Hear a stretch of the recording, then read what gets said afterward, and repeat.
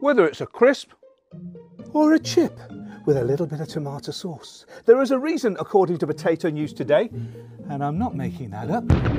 that we produce around the world somewhere in the region of 383 million tonnes of potatoes every year.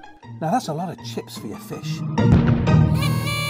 Apart from being just tasty, a potato can also be one of these nature's battery.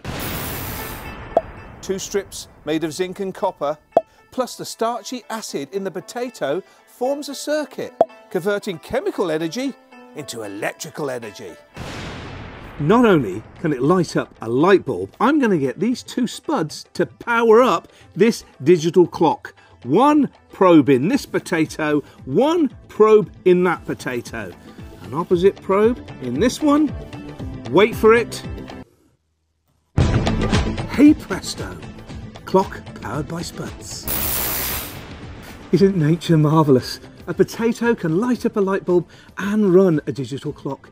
And with the right type of wiring, there's no reason why it couldn't charge your mobile phone. Potato, nature's battery. Laters, taters.